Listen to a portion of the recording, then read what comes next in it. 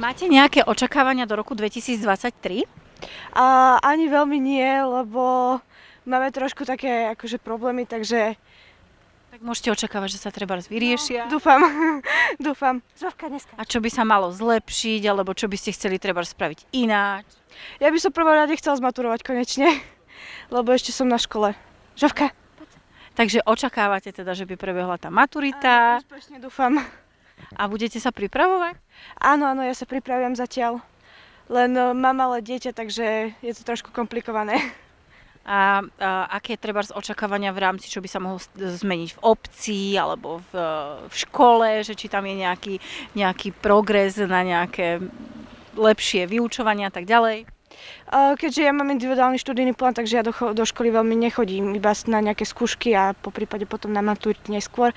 Takže neviem, ako to tam, čo je nové a tak. A v obci nemám zatiaľ žiadne očakávanie, ja som celkom spokojná. Čiže očakávate teda, že bude tá maturita, že dieťatko bude rásť a tak ďalej. Áno, áno. Máte nejaké očakávania do roku 2023? No zatiaľ neviem, ako to bude, čo bude. Záleží na druhých, čo bude. A čo by ste chceli, aby bolo? Čo by sa zlep- malo zlepšiť? To musia oni povedať, čo chcú. Takže neočakávate nič? Nič, každý má svoj mier. A čo tak napríklad, ja neviem, nejaká zmena v, v systéme, treba v politike, alebo v, tu v meste, v obci u vás? Tak nevieme sami, čo bude, ako bude. Nikto netuší a nevie nikto, čo ako bude, pretože oni majú zvlášť a každý má tiež zvlášť. No a keby sme teda, No, keby sme sa bavili teda o, trebárs o vás, o tom, čo očakávate, kam sa chystáte, alebo s rodinkou, čo, čo budete mať nové, nové už není veľmi nič. Každý je tak zvyknutý, ako je.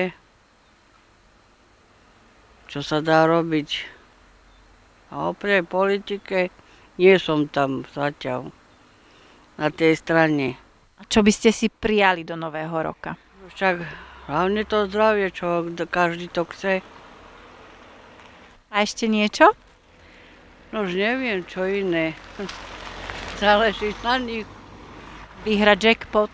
Ale tak, čo ja viem, čo už bude. Ako bude, no. Máš nejaké očakávania do roku 2023? No, chcel by som akože mať lepšie známky v škole a polepšiť sa trochu. A budeš preto aj niečo robiť? Áno, Budeš sa viac učiť? no hej. Dobre, a čo ešte treba by si očakával, že uh, budete mať iné napríklad aj v tej škole, alebo vidím, že si bol športovať, vraví, že ti ide telesná. Čo by si očakával, aby sa zmenilo? O, chcel by som, aby sme na telesnej viac chodili akože na nejaké turistiky a na také, že lyžovať a tak. A chodíte aj teraz na nejaké turistiky, či vôbec? Mm, nie, skôr iba v telesnej cvičíme. Dobre, a čo by si očakával treba z doma od rodičov? Fúha, neviem. Radšej nepovieš? Áno. A od súrodencov? No, chcel by som, aby sa môj brat troška lepšie spával ku mne. Dobre, čiže to sú tvoje očakávania do roku 2023. Máš nejaké očakávania do roku 2023? a očakávania. No tak v prvom rade snáď bude lepší ako ten 2022, asi pre všetkých aj čo sa týka tej e, situácie vo svete, ale aj čo sa týka energetickej krízy. No vo všetkom nech sme trošku viac súdržní a očakávania asi, že teda ľudia, nehadajme sa, buďme viac spolu. Tak, A také nejaké svoje osobné očakávanie od seba? No osobné, no chcela by som sa už vrátiť domov a založiť si rodinku a uvidíme, ako to všetko pôjde. A nejaké novoročné predsavzatia? Predsavzatie pre mňa... Mm, áno, budem sa zdravšie stravovať. Menej mesa asi. Ale aj stále bude meso, ale dáčo, aj viac zeleniny, ovocia a tak. Takže, lebo cítim, že mám má- málo energie a vždy, keď mám takú zdravšiu stravu, tak je to lepšie. Takže toto je asi to, že to chcem tak spravidelniť. Čiže to očakávaš od seba, že si na to dáš pozor. Od seba áno, od seba to očakávam. A budem si dávať pozor. A čo očakávate od roku 2023? Zdraženie. Niečo pozitívne? Nič. A tak také nejaké svoje vlastné očakávania, v čom by ste sa chceli, chceli zlepšiť, alebo čo by sa malo zlepšiť vo svete, na Slovensku, vo vašom meste? Ťažko povedať, čo sa zmenší, čo bude. Keď jeden deň je tak, jeden tak. Ťažko povedať. Zdraženie je teda asi 100%. A nejaké také príjemné veci, čo vás čakajú tento rok? No nevieme, začiatok, čo to bude. Na prírode bude záležať veľa. Chodíte do prírody? Áno, a hlavne do záhrady.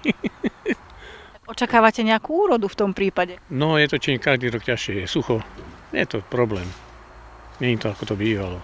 Ale nič. Vidíte, sneh, není nič. Bohužiaľ. Čiže čakáte, čo bude? No horšie. A nejaké také priania? A tak to zdravie aby bolo čo inšie. A ak to skončia už tú vojnu tým tým, lebo to je tiež jedno zbytočné, nič, ničomu. Bohužiaľ.